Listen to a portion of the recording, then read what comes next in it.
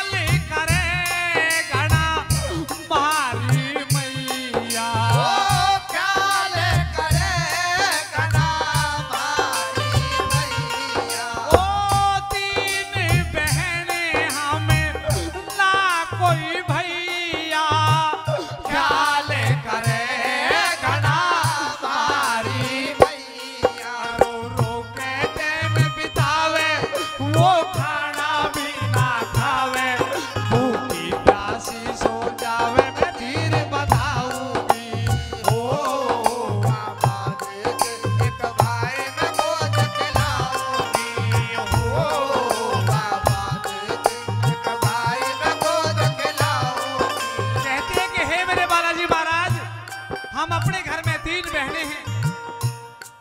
अगर कमी है तो सिर्फ़ एक भाई की। हे मेरे बाबा, तुम्हें मेरी माँ को एक लाल और मुझे एक भाई दे दे।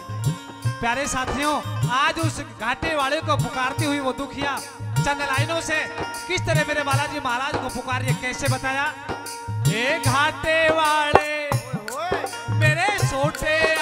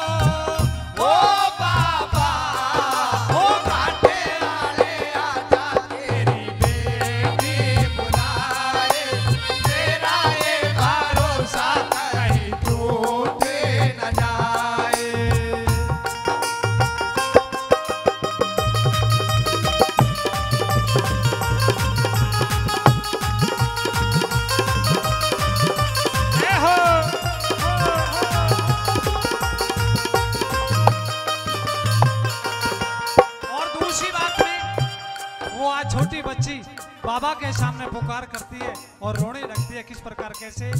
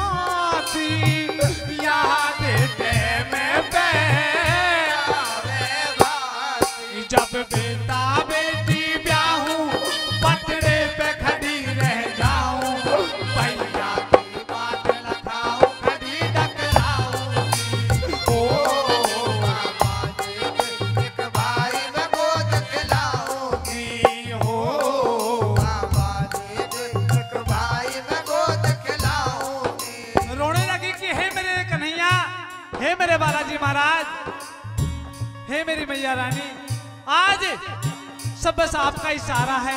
हे मेरे घाटे आड़े मेरी ये नाव आज मझधार में पड़ी हुई है। और इसका खेवनहार सिर्फ़ तू ही है मेरे बालाजी महाराज। बाकी और कोई नहीं। प्यारे साथियों, आज चंद लाइनों से वो छोटी दुखिया बाबा के सामने गिड़गिड़ाती हुई चंद लाइनों से कैसे पुकार रही है भला? मेरे बाबा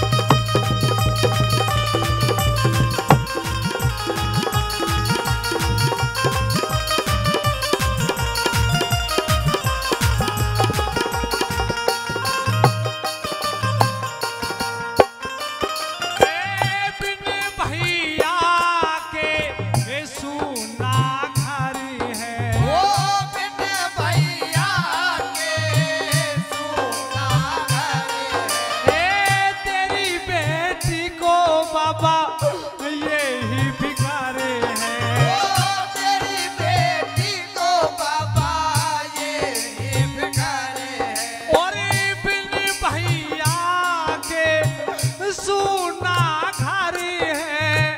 वो तेरी बेटी को बाबा ये ही। जब रक्षा बंधन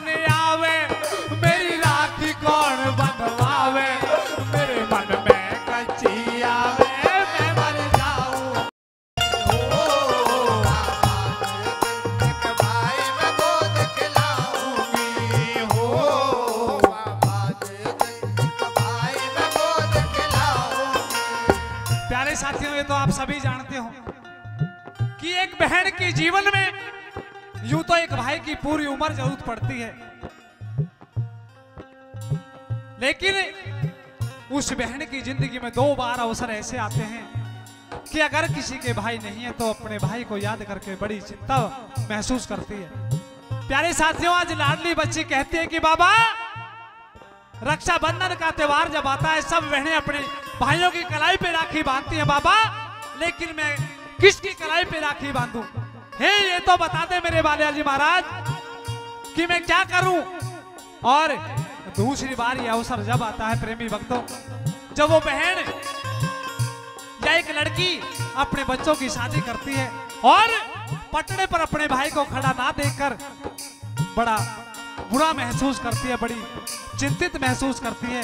प्यारे साथियों, कवि ने अपनी कलम के द्वारा बड़े सुंदर बोल लिखे हैं। बताता चलूँगा, आज वो बच्ची बाबा के सामने गिड़गिड़ाती हुई रो रो कर बुरा हाल कर देती है।